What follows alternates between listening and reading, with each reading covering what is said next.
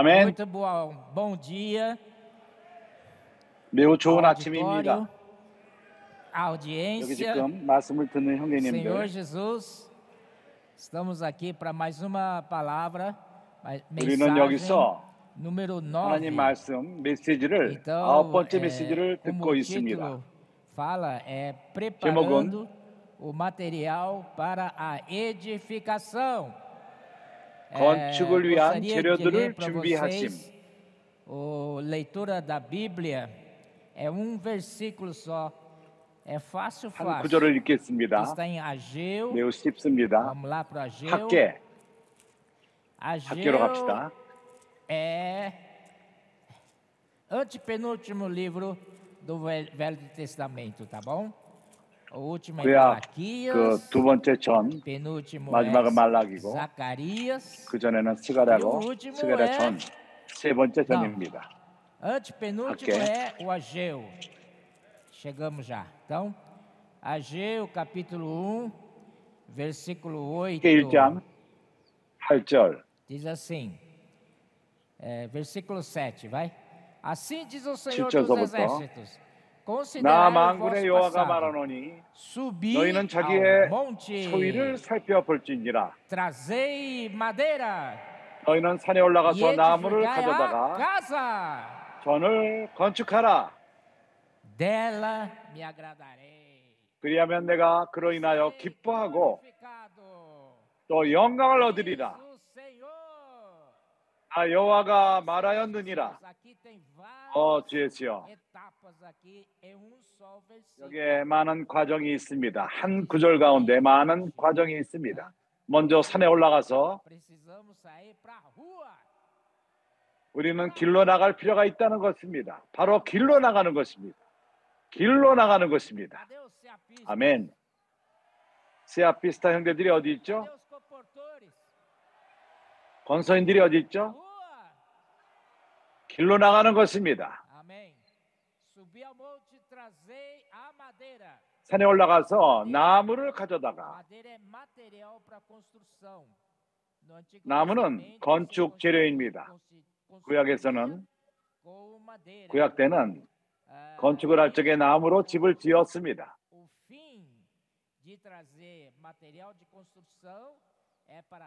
나무를 재료로. 가져오는 것은 E 하나님의 전을 건축하기 위함인 것입니다. fala da edificação, 때 o Senhor 건축을 말할 적에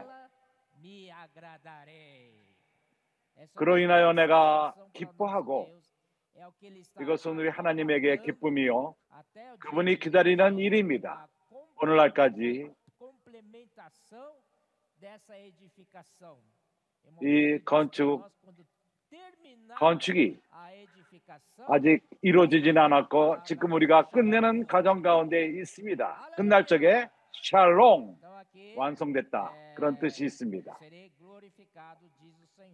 그리고 또 영광을 얻으리라.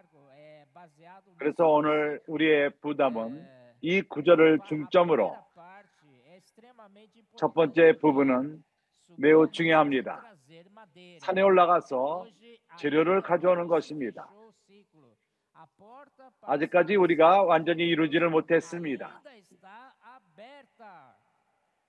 아직도. 이방인들의 때가 끝나지 않았습니다. 우리가 이 기회를 잘 잡아서. 언젠가는 이 문이 닫힐 것입니다. 아멘. 그렇기 때문에 우리는 기회를 잡아서 길로 나가고 사람들을 접하며 그 상황이 어떠하든 간에 뭐. 중요하지 않습니다. 하나님은 그들을 구원하시기 원하십니다. 어, 주 예수여. 너를 위해서 기도해도 되느냐? 이것은 하나님이 우리에게 주신 도구, 사람들 가운데 기적이 일어나는 그러한 말인 것입니다. 이런 것이 입에서 자연스럽게 나오게 하십시오. 당신을 위해서 기도해도 됩니까? 그래서 마태복음 16장 에서는 건축을 말합니다. 마태복음 16장에 주님은 먼저 제자들에게 물어봅니다. 주님은 제자들을 가이사로 빌립보로 데리고 가셨습니다. 가이사라 빌립보는 헬몬산 어, 산 기슭에 있습니다. 거기는 하늘이 맑고 어떠한 오염이 되지 않은 깨끗한 곳으로서 거기에 물이 있고 거기에 어, 요단강이 거기, 거기서부터 시작된다는 말이 있습니다. 그 장소를 생각해 보십시오. 제자들을 주님이 이러한 장소로 데리고 가셨습니다. 이번 특별 집회 때 주님이 우리를 데려왔는데 같은 의미가 있습니다. 9일 동안 우리가 가이사로 빌립보에 있는 것입니다. 이것을 이해하지 못합니까? 깨닫지 못합니까? 여기는 세상으로부터 멀리 떨어져 있고 여기서 우리는 보호함을 받고 있고 여기 우리가 형제들 가운데 있고 우리는 여기서 형제들과 함께 점심을 먹고 저녁을 같이 식사하며 그리고 아침 식사도 커피도 같이 마십니다. 할렐루야. 이것은 어, 보호된 그러한 건전한 장소입니다. 분위기를 가진 장소입니다. 그래서 주님이 우리에게 계시하십니다. 내가 확신하는 것은 지금까지 주님은 우리에게 계시하시고 있습니다. 주님은 우리를 실망시키지 않으셨습니다. 이러한 합당한 장소에서 계시하십니다. 그래서 우리는 수양회를 위해서 생명나무 수양회를 저 기도하며 헌금할 필요가 있습니다. 이것은 유일한 장소로서 하나님이 그분의 말씀을 우리에게 계시하는 장소입니다. 어, 주였어요. 그래서 그 당시에 주님은 이러한 필요를 느끼셨고 주님은 가이사로 빌립보로 제자들을 데려가서 물어봤습니다. 백성들이 나를 누구라 하더냐? 그들은 답했습니다. 제자들이 대답하여 가라기를 가라사대 그들이 받은 인상은 사람들의 어, 사람들을 접하기 때문에 어떤 이들은 말하기를 세리요한이다, 엘리야다, 에레미야다, 아니면 어떤 선자인지도 모르겠다. 그때 주님은 말했습니다. 그들에게 주님은 물어봤습니다. 너희들은 어떻게 생각하느냐? 어, 내가 나를 누구라 말하느냐? 이거는 참으로 어려운 질문인 것입니다. 거기에 많은 제자들이 그들에게 물어봤을 적에 그들이 침만 삼키고 있었을 것입니다. 어, 이제 어떡하지? 어떻게 내가 답하지? 그러나 주님이 은혜로 그러한 상태에서 어, 시몬 베드로가 답함으로 어, 문제가 해결되었습니다. 거기 있는 모든 제자들이 제자들이 주는 그리스도시요. 살아계신 하나님의 아들이시다. 그리스도는 기름 부음을 받았다는 메시아 하나님의 뜻을 이루기 위해서 아버지로부터 사명을 받고 받고 이 땅에 오셨습니다. 사역이 할 사역이 있고 일이 있는 것입니다. 또한 하나님의 살아있는 아들 이러한 하나님의 일을 행할 적에 생명 가운데서 하나님의 생명 가운데서 행한다는 것입니다. 주님께 감사합니다. 우리가 주님의 일을 생명 가운데 행하는 것은 중요합니다. 우리 스스로의 능력도 아니고 우리가 무엇인가 할 수 있다는 그것으로 되는 것도 아니고 하나님의 생명으로 되는 것입니다. 그때 주님은 답하셨습니다. 바요나 시몬아 네가 복이 있도다. 어, 요나의 아, 바요나라는 뜻은 요나의 아들이라는 뜻입니다. 그의 아버지 이름은 요나였습니다. 어, 육의 그 아버지 베드로를 낳은 그러나 혈과 육이 너를 이것을 계시한 게 아니라 너를 알게 한 것이 아니라 너희 육신의 아버지가 이것을 너에게 가르친 것이 아니라 하늘에 계신 내 아버지께서 너에게 이것을 계시했노라. 그래서 매우 중요한 계시입니다.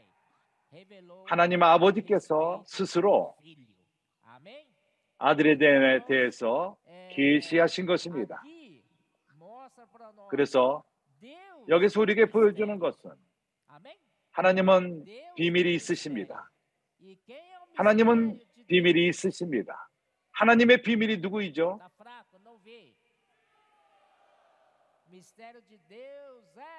하나님의 비밀은 바로 그리스도이십니다. 그 당시에 하나님을 어디서 만날 수 있었죠? 바로 그리스도입니다. 하나님이 그리스도 안에 계셨습니다. 예수를 만난 자는 하나님을 만난 것입니다. 그래서 하나님이 누군가를 알기 원한다면 하나님이 어디 있습니까?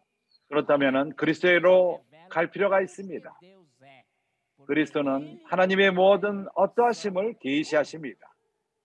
아버지와 그는 하나이기 때문인 것입니다. 18절에 이제 첫 번째 베드로가 첫 번째 계시를 말했고 계시 한 부분인 것입니다. 또 계시에 다른 반 어, 반의 부분이 있습니다. 이 둘이 합쳐질 적에 참으로 큰 계시, 큰 비밀의 계시가 이 둘인 것입니다. 그래서 계시의 두 번째 부분은 주님은 스스로 말했습니다. 내가 내게 이르노니 너는 베드로라. 내가 이 반석 위에 이 반석 위에 내 교회를 세우리니 내 교회를 세우리니 베드로 헬라어 원어로서 작은 돌이라는 뜻입니다. 그리고 반석 헬라어로 큰 돌을 말하는 것입니다. 이 반석 위에 내 교회를 세우리니 첫 번째로 구약 전체에서 신약 전체에서 첫 번째로 교회가 언급된 부분인 것입니다. 아, 이것으로 인해서 아무나 흥분되지 않습니까? 교회가 교회라는 단어가 처음으로 나타난 것입니다. 신구약을 통해서 내 교회를 세우리니 주님에게는 그분의 교회가 있습니다. 이 반석에 내 교회를 세우리니 주님이 자신의 교회를 세운다는 것입니다. 교회는 그리스도의 비밀입니다. 하나님의 비밀은 아버지 스스로 계시하셨고 이제 그리스, 그리스도의 비밀은 누가 계시합니까? 그리스도가 계시하는 것입니다. 그리스도가 계시하십니다. 계시의 두 번째 부분을 그것은 그리스도의 비밀인 교회입니다. 그래서 사람인 사람들이 하나님을 알기 원한다면 그리스도로에게로 갈 필요가 있습니다. 누가 그리스도를 알기 원합니까? 손을 들어 보십시오. 그렇다면 교회로 갈 필요가 있습니다.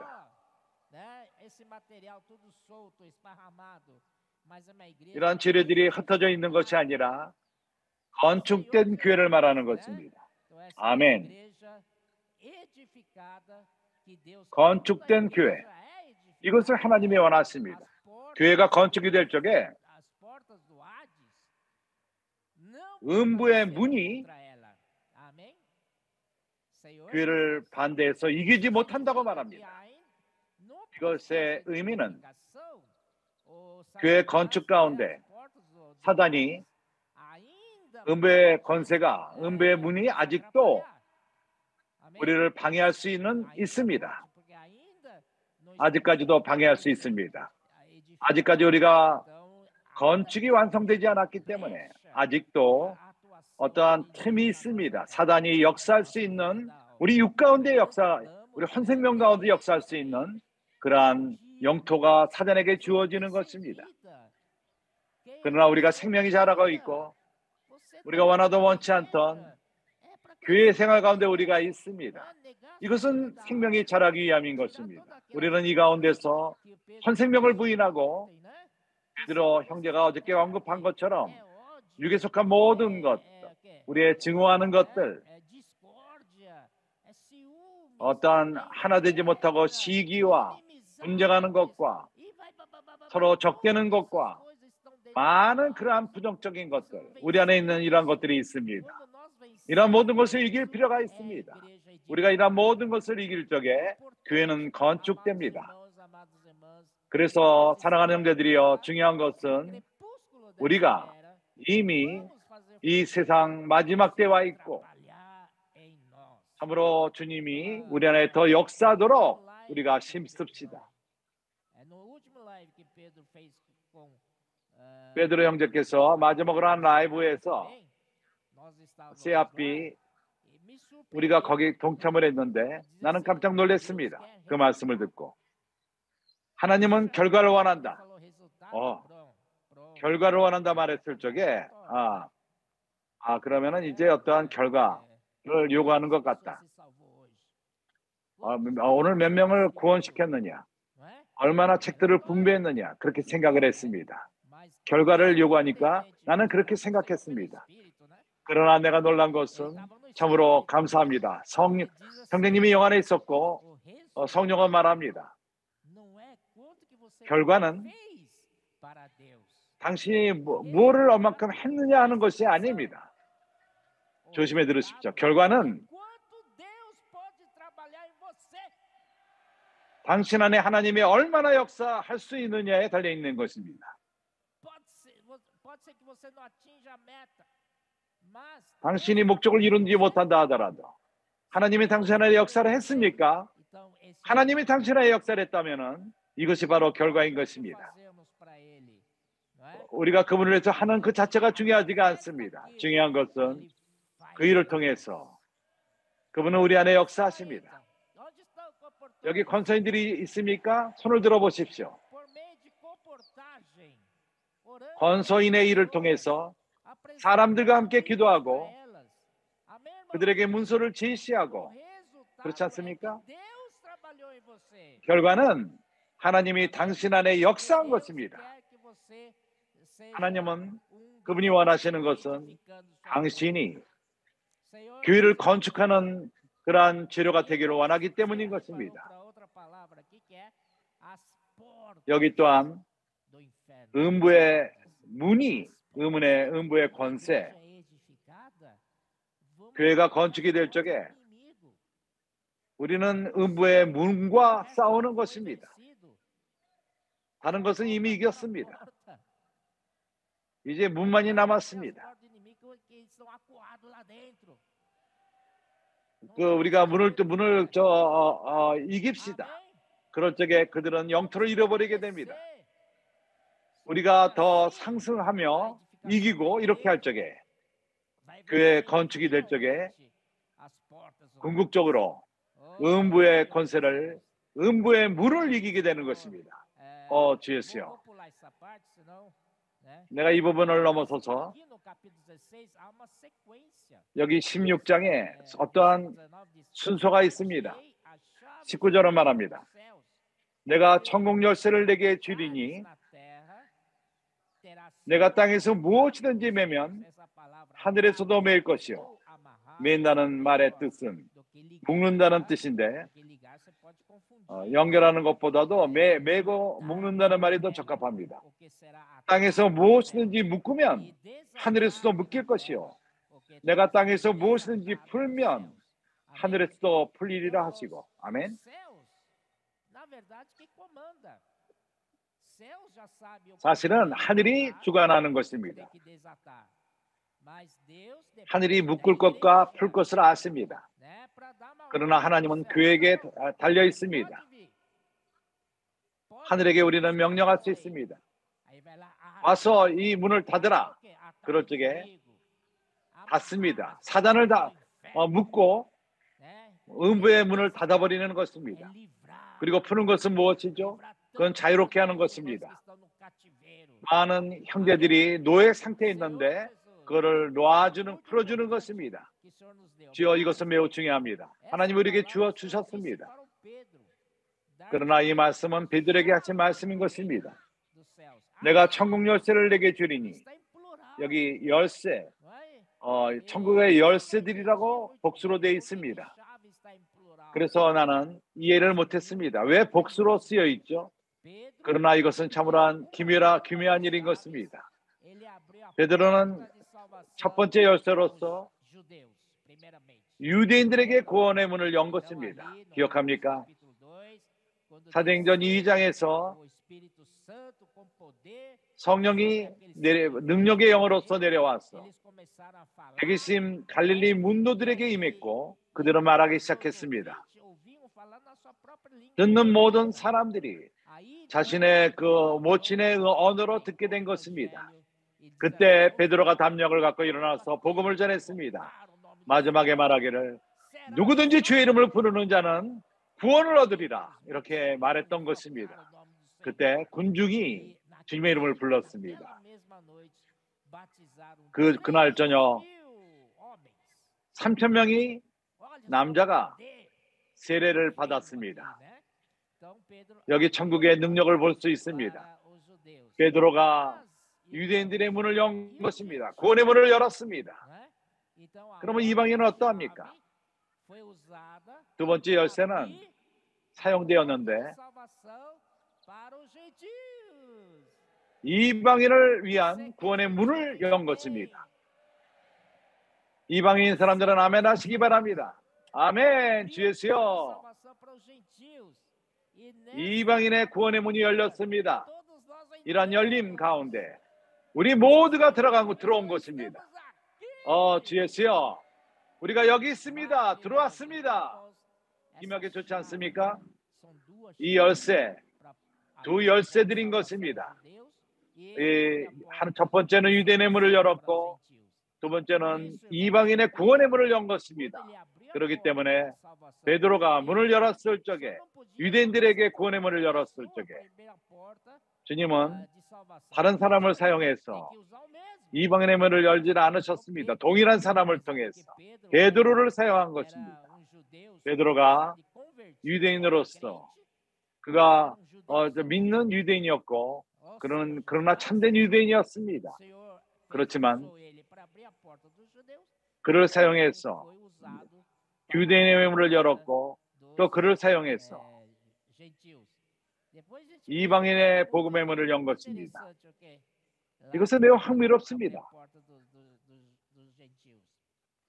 이방인의 문을 열었을 때 그러합니다. 그래서 주님은 말씀하십니다. 그때부터 예수께서 그는 예루살렘에 가서 어, 올라가 장로들과 대장들과 서기관들에게 많은 고난을 받고 죽임을 당하고 제3일에 살아나야 할 것을 제자들에게 비로소 가르치시니 이러한 일이 있기 위해서는 교회가 건축되고 유대인의 문이 열리고 구원의 문이 열리고 이방인의 구원의 문이 열리기 위해서는 주님 스스로가 어떠한 과정을 거치실 필요가 있었습니다. 그런 모든 것이 가능하기 위해서 그래서 이것이 필요하다고 말씀하셨습니다. 그가 예루살렘으로 가서 많은 고난을 당하시고 제장들과 장로들과 서기관들과 그리고 죽임을 당하신다고 말했습니다. 그러나 죽는다는 그 말을 들었을 적에 베드로는 완전히 이해하지 못했습니다. 부활에 부활한다는 말은 기억하지 못한 것 같습니다. 그러나 주님은 죽고 부활하신 것입니다. 3일째 부활하셨습니다. 주님이 부활하셨을 적에 교회 건축이 실제가 되기 시작한 것입니다. 생명 주는 영이 오므로 된 것입니다. 주님은 바로 그 영이십니다. 우리 믿는 사람 안에 각 사람 안에 주님의 이름을 믿을 적에 그 영이 우리 안에 들어왔습니다. 당신은 주님의 이름을 믿습니까? 할렐루야. 그렇기 때문에 필요했습니다. 그러나 베드로는 그것을 잘 이해하지 못하고 주님을 야단치기 시작했습니다. 당신은 절대 죽을 수 없습니다. 이런 일은 절대 있을 수 없습니다. 그때 그 순간 사다 아, 아, 베드로는 아버지 하나님에게 쓰임을 받고 하나님의 비밀인 그리스도를 계시했습니다. 같은 베드로가 같은 날 또한 사단에게 쓰임을 받았습니다. 아, 이러한 그 같은 장의 두 면이 나옵니다. 어떻게 이러한 일이 있을 수 있습니까? 이것은 참으로 흥미롭지 않습니까? 그렇습니다. 참으로 베드로는 우리를 대표하는 자들입니다. 우리가 또한 그러합니다. 어떤 순간에는 하나님의 영감을 받고 할렐루야 아침에 오늘의 양식을 입고 어, 성령이 충만하고 참으로 흥분된 상태에서 하나님을 대신하여 말하기 시작합니다. 12시가 되어서 어떤 상황을 만나고 영 가운데 사는 걸 잊어버리고 맙니다. 그리고 자기 스스로의 말이 나오기 시작합니다. 그때 사단에게 쓰임을 받기 시작합니다. 이것이 우리에게 주어진 어려움들입니다. 우리가 이것을 고칠 필요가 있지 않을까요? 주 예수여. 사단아 물러가라. 이렇게 주님이 말씀했습니다. 24절에 예수께서 제 아들에게 이르시되 아무든지 나를 따르려거든 자기를 부인하고 자기 십자가를 지고 나를 쫓을 것이니라.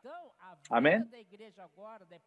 그래서 주님의 부활 이후의 교회 생활은 교회 생활이 무엇이죠? 바로 주님을 쫓는 것이 교회 생활인 것입니다. 아멘. 나를 따르려거든 자기를 부인하고 자기 십자가를 지고 나를 쫓을 것이니라.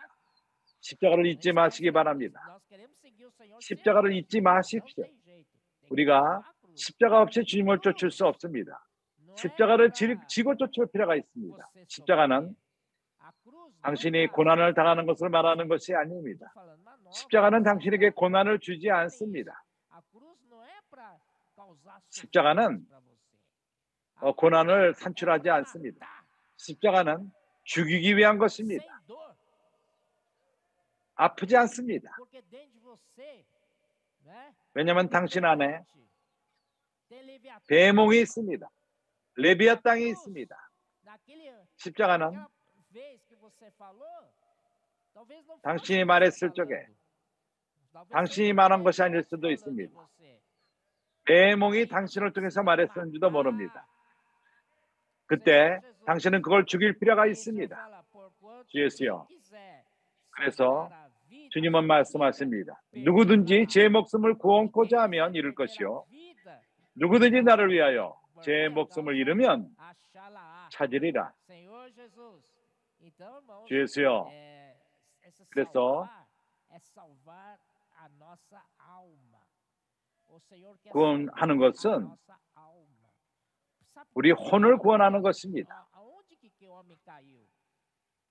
어디로 사람이 떨어졌죠? 사람의 영 가운데 떨어졌습니까? 몸 가운데로 떨어졌습니까? 사람은 혼 가운데서 떨어졌습니다. 사람의 생각,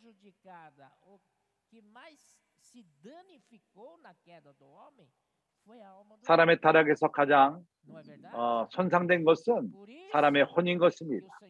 그렇기 때문에 주님은 이렇게 말씀하십니다. 자기의 목숨을 구원하고자 하면 잃을 것이요. 혼을, 혼의 생명을 얻고 어, 옛사람을 잃어버리는 것입니다. 사람은 타락한 다음에 스스로의 인격을 얻었습니다. 어, 나는 깜짝 이 말씀을 듣고 깜짝 놀랐습니다. 에덴 동산에서 에덴 동산에서 하나님은 모든 아, 사람이 살 수 있도록 모든 조건을 어, 준비하셨습니다. 사람은 아무것도 걱정할 필요가 없었습니다. 하나님은 그에게 모든 것이었습니다. 거기에 어, 보기 좋고 먹기 좋은 그러한 과실과 모든 것이 있었습니다. 그러나 하와가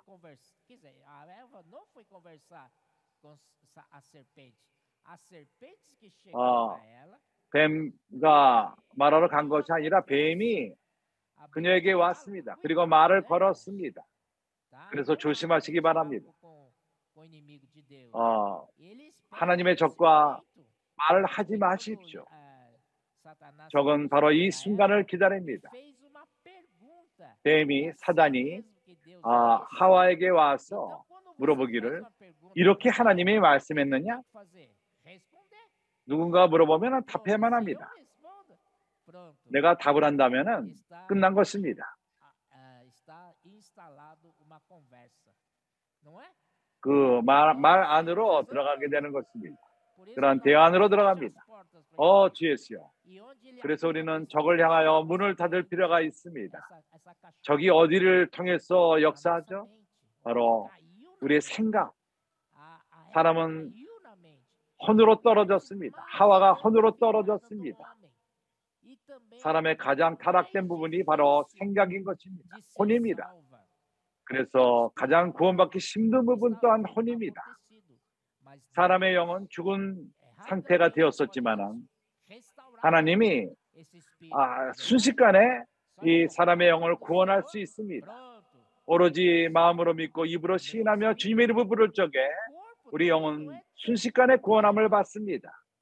육 또한 큰 문제가 아닙니다. 왜 그렇죠? 주님이 오실 적에 그분은 약속했습니다.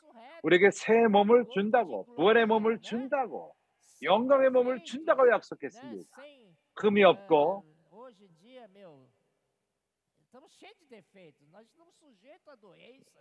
참으로 우리는 많은 faleceram.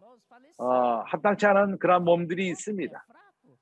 우리 몸 때문에 약하기 때문에 어려움이. 있습니다. E 그러나 하나님은 놀라운 약속을 하십니다. 나는 이것을 기다립니다. 아, 나는 그날을 정말 참으로 기다립니다. 주님이 내 몸을 바꾸시기. 바랍니다.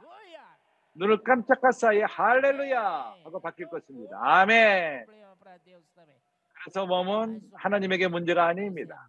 그러나 하나님에게 있는 문제는 사람의 혼입니다. 생각입니다. 하나님은 이런 혼을 구원하지 않겠습니까? 영, 영만 구원하고 몸만 구원하고 혼을 그냥 놔둘 것입니까? 어렵다고? 아닙니다. 그분은 혼을 구원하기 원합니다. 혼도 구원하기 원합니다. 사람의 세 부분 온 존재를 구원하기 원합니다. 온전히 우리가 구원받기를 원합니다. 주여. 그래서 주님은. 더욱더. 우리 혼 가운데 역사를 하고 있습니다. 특별히 우리 생각 가운데서 그래서 우리가 뭘 어떻게 해야 하죠? 우리는 우리 생각을 영안에 둘 필요가 있습니다. 아멘. 생각을 둔다면은 morte. 그것은 사망인 것입니다. 생각을 sim, 영안에 저 é 몸 안에 certeza. 두면 사망입니다. 그건 분명합니다. Ah. 그걸 주여 의심하지 마십시오. 한번 체험해 볼까요? 아닙니다. 시험에도 소용이 바로 그겁니다. 바로 죽음입니다. 영적인 죽음입니다. 당신은 죽습니다. 그러나 생각을 영안에 é 둔다면은 paz. 생명이요 평강인 것입니다. 어 através 이것을 E 주님이 fim do capítulo 16, 행하시는 것입니다. 그리고 igreja, 16장 마지막에서 교회를 주님이 건축할 적에 우리의 혼을 구원하실 적에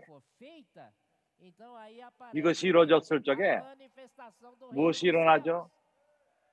아, 천국이 나타나는 것입니다. 17 de Mateus. 16장 마지막 부분에? 있습니다. 참으로 너무나도 기묘합니다. 베드로 형제님이 우리에게 이것을 교통해 oh, 주었습니다. 주님 나도 거기 있기를 원한다고 나는 생각했습니다. 그러나 Senhor 변형됨, 높은 산에서 변형됨? 오로지 세 제자 중요한 제자들만을 데려갔습니다. 나머지 제자들은 가지 않았습니다. 이런 특권을 얻지 못했습니다.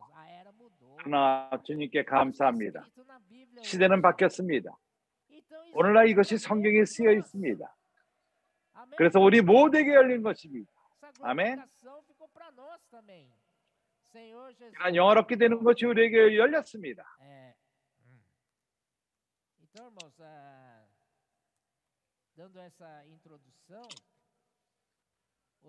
그러한 지금까지 말한 것은 서론이었고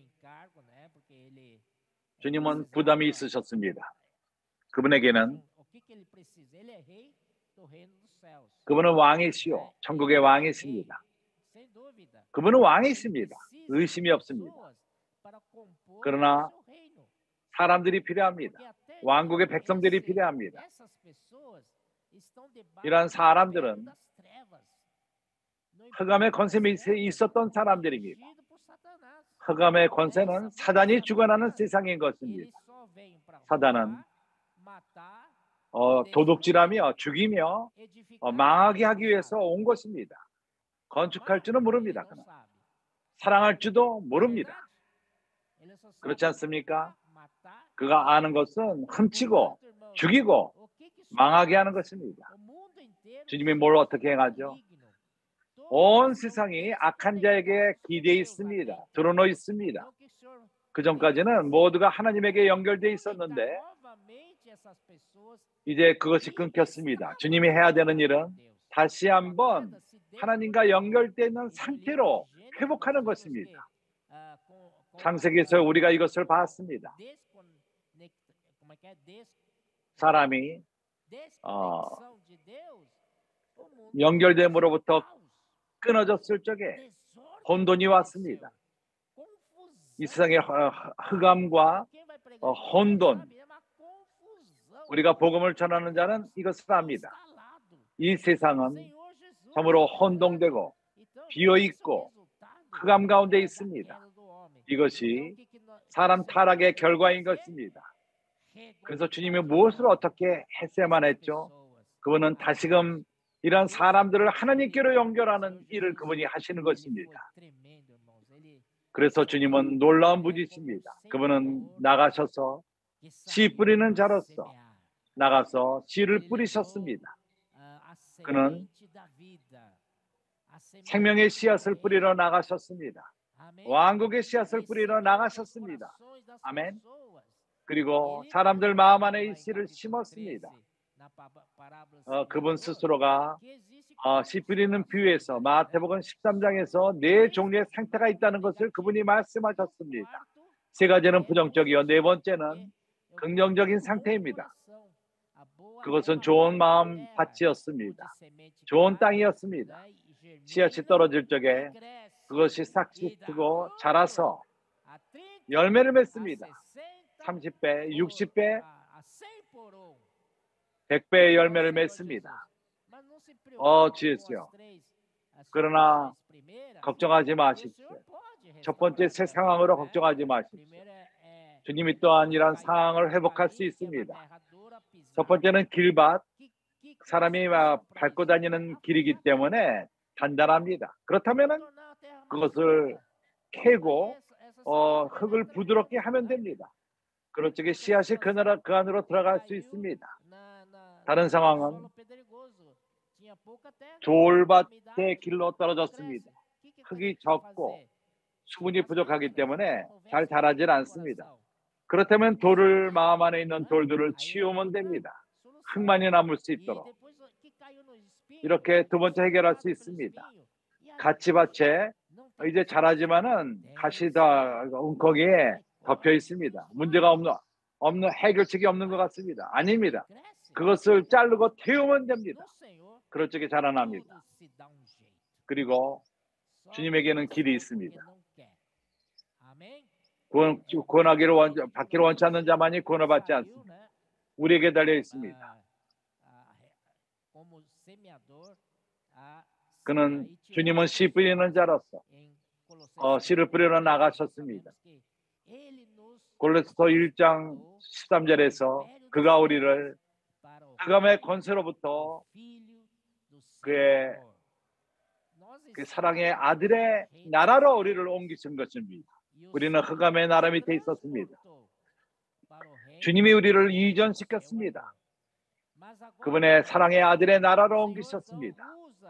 그러나 이제 주님이 우리 모두를 교회로 사랑을 사용하십니다. 길로 나가서 더 많은 교회 건축을 위한 재료들을 가져오는 것입니다. 그러나 내가 또한 보이기 원하는 것은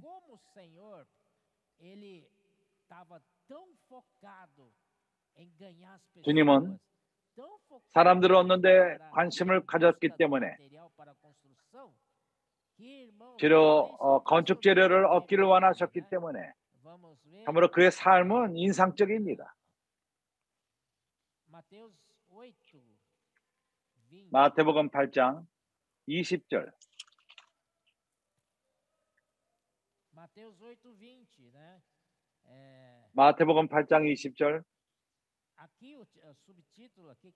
Alguém colocou diz 여기에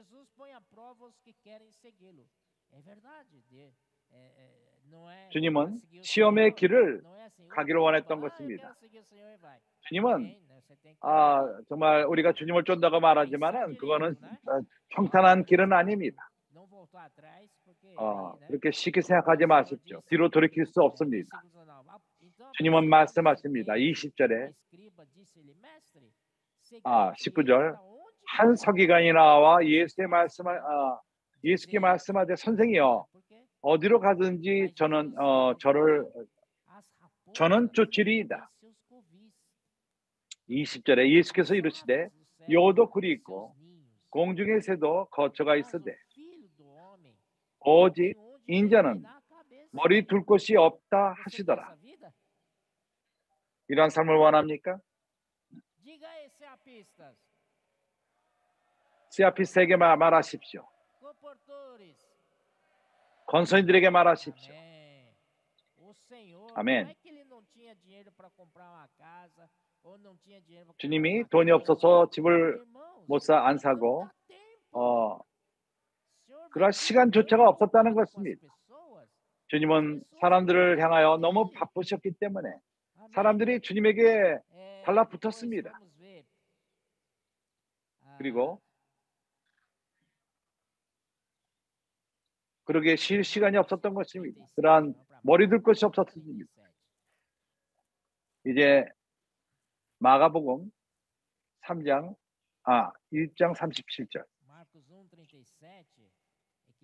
마가복음 1장 37절. 여기서 이렇게 말합니다. 35절에 주님을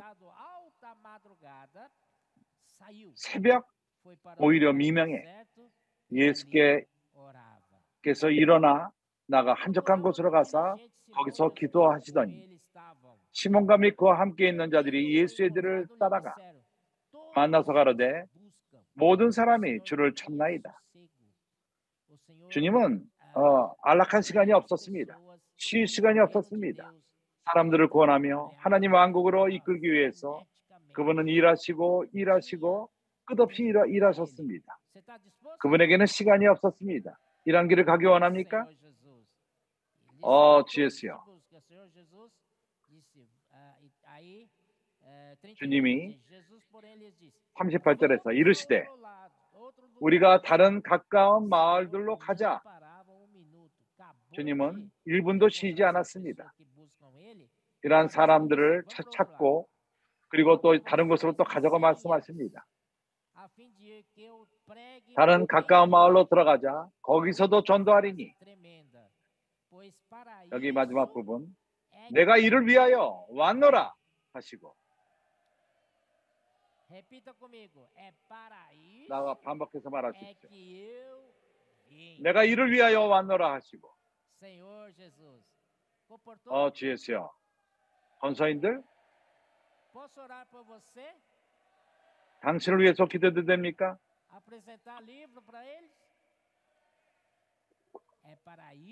사람들에게 책을 제시하고. 이를 위하여 내가 왔노라. Ó. Jesus. 어 주 예수여 pregando na 그래서 갈릴리를 다니시면서. 회당에서 가르치시고 귀신들을 쫓아냈었습니다.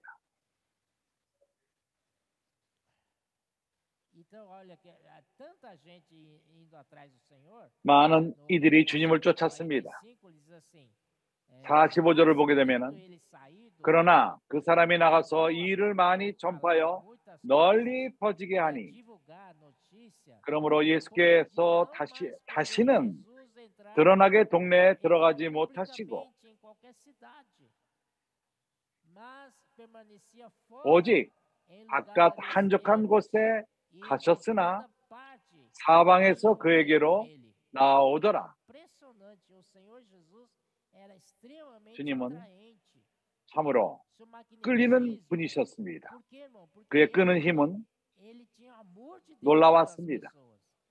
왜냐하면 하나님의 사랑을 갖고 사람들을 사랑했기 때문인 것입니다. 그분은 틀렸습니다. 그래서 군중들이 그에게 왔을 적에 그는 비유로서 말씀하셨습니다. 제자들이 물어봤습니다. 당신은 왜 비유로 말씀하십니까? 주님이 말했습니다. 그들이 어, 듣지만은 듣지 않고 보지만은 보지 않고 그들이 그 기름진 마음을 가졌기 때문이다. 그래서 비유로 말씀했습니다. 주님에게 관심을 갖는 자들은 그분은 아주, 아주 직접 어, 올바르게 말씀했습니다. 비유로 말씀 듣기 원합니까? 아니면은 주님에게 직접 분명하게 듣기 원합니까? 어, 주 예수여.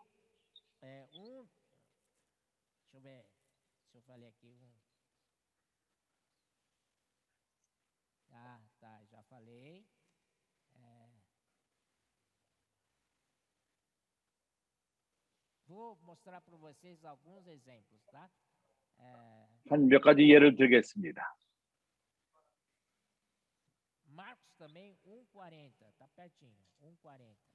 마가복음 1장 40절.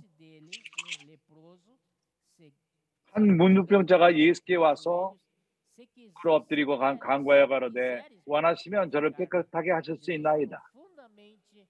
예수께서 민망히 여기사 손을 내밀어 저에게 대시며 가라사대 여기 그 민망히 여겼다는 깊이 어, 민망히 여겼다는 말 이것이 바로 열쇠입니다.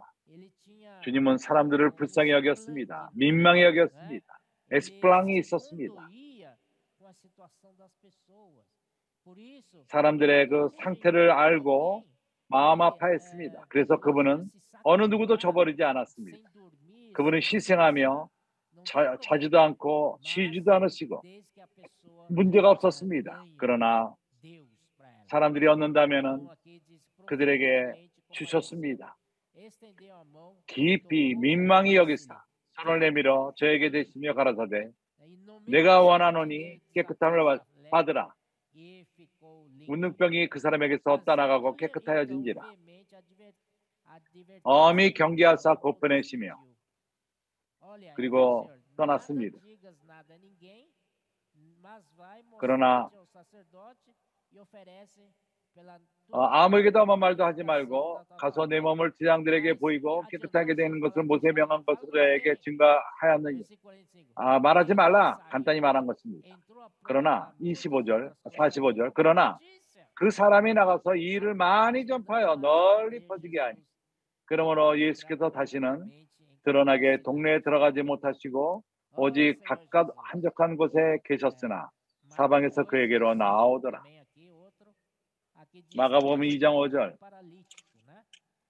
여기에 중풍병자의 예가 있습니다.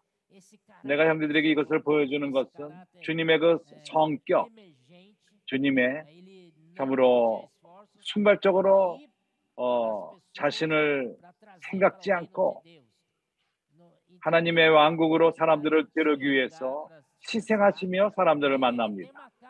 그는 쉴 곳도 없으셨고 가버나움에 그분의 집이 있었습니다. 집에 계실 적에 그는 생각해 보십시오. 집에 가서 우리가 집에 가면 뭘 하죠? 우리는 안락함을 느낍니다. 우리가 안식하는 곳입니다. 주님 또한 인간이었기 때문에 집에 가서 가버남 집에서 어, 거기서 어, 이제 아 나가자면 낮잠 좀 자리라. 그러나 그럴 수가 없었습니다. 마가복음 2장 수일 후에 2장 1절 예수께서 다시 가버나움에 들어가시니 집에 계신 소문이 들린지라. 많은 사람이 모였어. 문 앞에서도 용신, 어, 용신할 수 없게 되었는지라. 예수께서에게 도를 말씀하시더라. 말씀을 말씀하시더라. 사람들이 글러 갔습니다.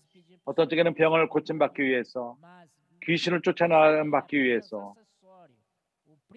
이것은 외, 외, 저, 외부적인 것이고 중요한 것은 하나님의 말씀인 것입니다. 하나님이 하시는 말, 주님이 하시는 말씀은 사람들을 끌었습니다. 3절 사람들이 한 중풍병자를 네 사람에게 메워가지고 예수께 올세 그래서 문둥병자가 구원받기 위해서 왔습니다. 고침받기 위해서 왔습니다. 그 걸을 수가 없었기 때문에 어, 내 친구들이 그를 데리고 와서 그를 거기 왔을 적에 주님 앞에 갈 필요가 있었지만은 고침받을 필요가 있기 위해서는 주님 앞에 갈 필요가 있었습니다. 그러나 주님의 집에 갔을 적에 꽉 집이 찼습니다. 사람들이 우글, 우글우글했습니다. 그래서 이런 경우에 어떻게 합니까? 아, 좀, 좀 비켜달라, 비켜달라, 비켜달라. 아, 좀 비켜, 비켜달라. 그렇게 했을 것입니다. 그러나 그렇게 그것마저도 할 수가 없었습니다. 모두가 그 열어주지 않았습니다. 사람이 꽉 찼습니다. 유일한 길이 뭔지 압니까? 지붕으로 올라가는 것입니다. 지붕까지 올라가는 시간을 생각해 보십시오. 얼마나 수고스럽습니까? 거기 지붕을 뚫고 무리로 인하여 예수께 나갈 수 없으므로 그 계신 곳에 지붕을 뚫어 정말 이것이 보여주는 것은 주님이 안식할 시간이 없었다는 것입니다. 주님은 안식할 수가 없었습니다. 참으로 군중들이 그를 둘러쌌기 때문에 그러나 사람들은 떠나지 않았습니다. 주님이 사람을 사랑하는 사랑이 너무나도 컸기 때문에 주님은 어느 누구도 빼앗기길 원치 않았습니다. 이것이 우리의 마음입니까? 사람들을 위해서 기도하며 우리 마음이 그러합니까? 사람들의 상황을 볼 적에 문득병자들, 중풍병자들, 귀신 들린 자들, 그러한 문득병이 걸린 자들은 하나님에 대해서 반역을 합니다. 중풍병자는 아무런 쓸모없는 자들인 것입니다. 그러나 그들이 우리에게 올 적에 우리가 길로 나갈 적에 이런 상황들을 만납니다. 참으로 우리가 뭘 어떻게 합니까? 어, 주 예수요. Aí também, né, capítulo, ah, capítulo 3, 3장 parecido, 31, 31절 비슷한 경우입니다. nisto chegaram sua mãe, seus irmãos, 때 예수의 모친과 동생들이 와서 밖에 서서 mandaram 사람을 보내어 예수를 부르니 do lado de fora, porque lá de dentro não cabe 왜 mais 밖에서 ninguém. 불렀죠? 왜냐하면 안에 들어갈 수 없어 꽉 찼기 때문에 너무 군중이 많았기 때문에 무리가 예수를 e 둘러 앉았다가 "Olha, tua 여짜오되 mãe, os irmãos e estão 보소서. fora." 당신의 모친과 동생들이 누이들이 밖에서 não 주님의 답을 보십시오. 그러한 식구를 안 좋아해서 이렇게 말한 것은 아닙니다. 그러나 특별히 주님은 어, 정말 천국 복음을 전하는데 초점을 두고 있었습니다. 주님을 하나님을 기쁘게 하길 원했던 것입니다. 그래서 우리가 주님을 섬길 적에 우리는 첫 번째로 주님을 기쁘게 하는 자들이 되어야 됩니다. 우리가 식구도 시행해야 될지도 모릅니다. 주님을 우선권으로 두는 것입니다. 천국 복음 전하는 것이 우선입니다. 주님은 말씀하고 끊을 수가 없었습니다. 그래서 누구든지 하나님의 뜻대로 하는 자가 내 형제요 내 자, 자매라고 말했습니다. 모친이라고 말했습니다. 그래서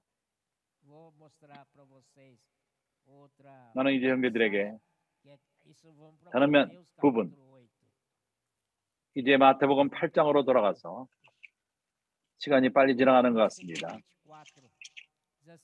8장 24절 바다에 큰 노을이 일어나 물결이 배서 덮이게 되었으되 예수는 주무시는지라 물결이 배서 덮이게 되었으되 예수는 주무시는지라 이것이 뭘 의미하죠? 주님이 그 집에 갔을 적에 안식하라고 쉬러 갔을 적에 쉴 수가 없었습니다. 사람들이 꽉 찼습니다. 그의 집에서도 잘 주무실 수도 없었습니다. 그렇지 않습니까? 여기서 보여주는 것은 주님이 피곤하셨습니다. 그래서 배 안에서 주무신 것입니다. 그 배 안에서 잘 수 있습니까? 이 배가 흔들리고 파도가 심해서 지하들이 어부 지하들이 두려워하는 상태인데 이 안에서 잘 수 있습니까? 큰 그 파도가 칠 적에 물결이 배에 덮이기를 할 적에 잘 수 있습니까? 어느 누구도 자지 못할 것입니다. 그러나 주님은 너무나도 피곤하셨기 때문에 너무나도 피곤하셨기 때문에 주무셨습니다. Oh, my God. 주님의 영을 보십시오. 우리는 그렇지 않습니다. 아, 나는 내 베개를 원한다. 아, 내 이불을 원한다. 내가 여행 갈 때 이걸 꼭 가져간다. 주님은 이런 것이 있지 않았습니다. 그분이 만나는 곳마다 그분은 쉬었습니다. 배 안에서도 파도가 치는데 큰 물결이 치는데 파도가 높이 올라갔습니다. 그 가운데서 주님은 주무셨습니다. 확 쓰러져서 주무셨습니다. 나 이면을 봤을 적에 어 주였어요. 나는 아직도 불만을 갖습니다. 아무 일이나 불만을 갖습니다. 매우 좋습니다. 그리고 또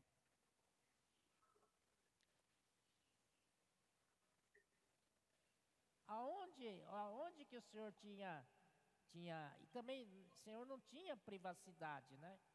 Muitas vezes 주님은 아, 안락한 시간이 있질 않았습니다. 우리는 우리 우리 우리만의 시간을 갖기 원합니다. 우리 장소를 원합니다. 나는 내가 혼자 있기를 원합니다. 이것은 아주 절대적으로 아주 신성한 것이라고 말합니다. 주님은 그런 시간이 있질 않았습니다. 주님이 가졌던 유일한 그 혼자 있는 시간은 산에 올라가서 아버지에게 기도하는 시간이었습니다. 어, 주 예수여. 유일한 시간. 그는 혼자 안락하게 있는 시간. 그가 아버지와 이야기할 수 있는 시간. 그리고 그의 에너지를 거기서 충족시켰습니다. 아버지와 기도하면서. 이것은 좋지 않습니까? 어, 주 예수여. 이것은 매우 좋습니다. 나는 형제들에게 이것을 놔두고 주님의 이러한 성격, 우리는 주님을 위해서 일을 하는 사람들인데 이러한 성격 같은 그 성격을 가질 필요가 있습니다. 상황이 어려울 적에 우리는 문제가 없습니다. 우리는 희생하면 됩니다. 그러나 하나님의 나라는 전진할 필요가 있습니다. 나는 희생하지만은 천국은 이걸 통해서 얻습니다. 천국 복음 전하짐은 가장 중요하다는 것입니다. 매우 중요합니다. 우리 삶에서 가장 중요합니다. 아멘. 이렇게 주님이 그러하셨습니다. 그분은 나가셨고 씨앗을 뿌리러 나가셨습니다. 그리고 여러 종류의 모든 종류의 사람들을 만났고 한 사람도 거부하지 않았습니다. 그러나 주님은 이제 이러한 일을 하기 위해서 혼자임을 느꼈습니다. 누군가가 주님을 돕기를 원했습니다. 그래서 마태복음 9장에 37절, 38절에서 주님은 이렇게 말씀하십니다.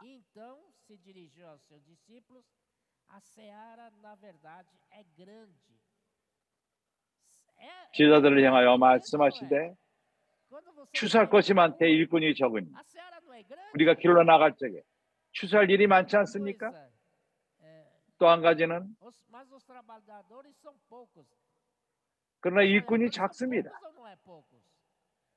일꾼이 적습니까? 많습니까? 적습니다. 그렇지 않습니까? 그래서 이제 내가 세아피로 오라고 지금 요거 저 부르는 것입니다. 당신이 주님의 복음을 위해 이러, 이러한 성격 이걸 원한다면 세아피로 가시기 바랍니다. 집에서 가장 가까운 세아피로 가시기 바랍니다. 거기서 이러한 주님의 간절한 마음, 지인을 얻고자 하는 마음을 얻게 될 것입니다. 주 예수요. 주님은 이렇게 말씀했습니다.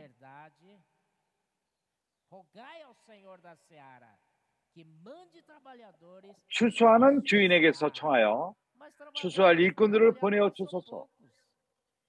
참으로 일꾼들이 작습니다. 어, 하나님께 일꾼을 보내달라고 기도한다면 하나님은 말합니다. 내가 너를 보낼 거다. 그렇게 말씀하십니다. 일꾼이 작기 때문에 그 주님의 제자들이 그들을 부르셔서 사도라고 부르셨습니다. 복음을 전하기 위해 9장 31절을 보십시오.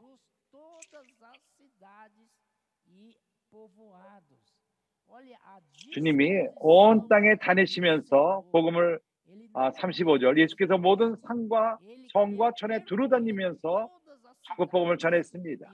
모든 도시를 다니셨습니다. 모든 백성에게 갔습니다. 오늘날로 말하자면은 형제님들이 우베를 타고 다니고 택시를 타지만은 그 당시에는 걸어 다녔습니다. 모든 어, 청과 성을 다니시면서 천국 복음을 전한 것입니다. 모든 종류의 병들을 고쳤고 약한 것들을 고치셨습니다. 무리를 보시고 민망히 여기시니 이는 저희가 먹지 없는 양과 같이 고생하며 유리함이라. 이러한 상황, 이것이 바로 우리의 추수가 매우 큽니다. 많은 일꾼을 필요로 합니다. 주님이 이렇게 행하시고 본을 보이시고 이제 우리가 전진합시다. 그리고 그 후에 누가복음 10장을 보면은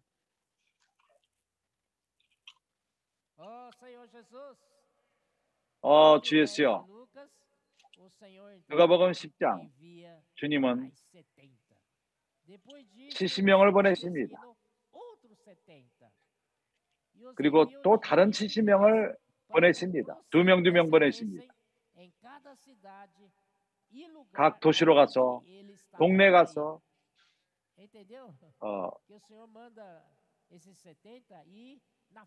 70명을 보내서 주님을 앞서서 가라고 하신 것입니다. 주님이 뒤에서 쫓아오십니다. 각 도시를 다니시면서 어, 그들이 먼저 갔고 주님이 그 뒤를 쫓아갑니다. 그리고 같은 것을 경고합니다. 추수할 것, 저 추수할 것이 많대. 일꾼이 작다고 또 말했습니다. 그래서 추수할 주인에게 기도하라. 일꾼들을 보내달라고. 갈지어다 내가 너희를 보냄이 어린 양을 이리 가운데로 보내가 같도다. 이것이 뭡니까? 그래서 이리를 만납니까? 그렇습니다. 이리를 만납니다. 이러한 것이 일어날 수 있습니다. 이러한 일이는 그것이 피스칼이 될 수도 있고, 어, 그리고 어, 안전을 지키는 자들이 될 수도 있고, 그것 때문에 우리가 관둘 것입니까? 아닙니다. 그들이 우리를 잡는다 할지라도 당신이 뭘 말하는 것을 걱정할 필요가 없습니다. 주님이 우리에게 말, 아, 말을 말씀을 주, 주실 것입니다. 우리 입에다 두실 것입니다. 아멘. 어, 주 예수여. 이렇게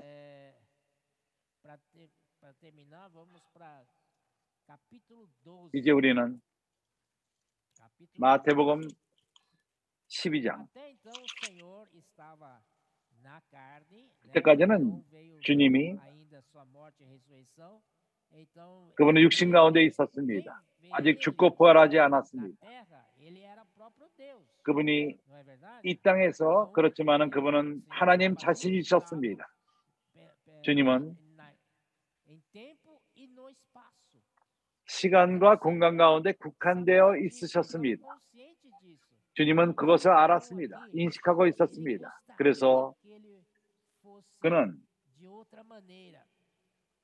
다른 방, 어, 어, 다른 영역에 있기를 원했습니다. 누가복음 아, 누가복음 12장 49절. 내가 온 것은 내가 이 땅에 내가 불을 땅에 던지려 왔, 왔노니 이 불이 이미 붙었으면 내가 무엇을 원하리요? 아멘. 주님이 오셨는데 이 땅에 불을 붙이러 오신 것입니다.